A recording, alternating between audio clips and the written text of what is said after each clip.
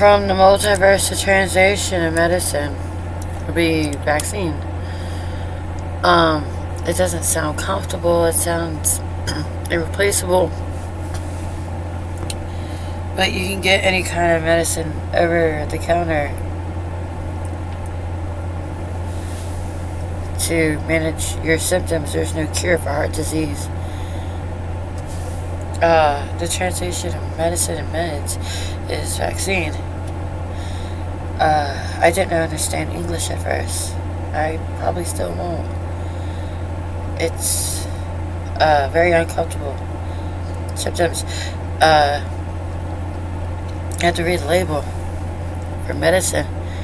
Uh, and uh, there's vaccine for sunburns too.